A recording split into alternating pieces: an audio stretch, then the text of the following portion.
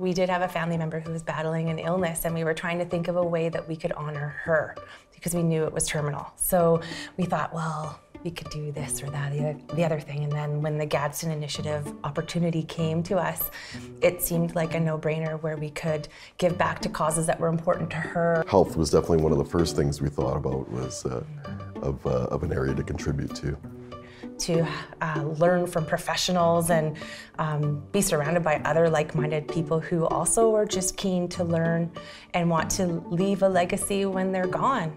And so, um, you know, there's nothing more important, I think, than being able to give back and being able to leave something behind that will help others when we're not here. Well, I think that a lot of people don't really understand what philanthropy really is or what it really means, and that it doesn't necessarily always need to be cash being handed over. It could be about giving your time, about sharing a skill or a talent, or yeah, time. It's a big, big gift. That uh, there's many ways to be able to, to give back to your community.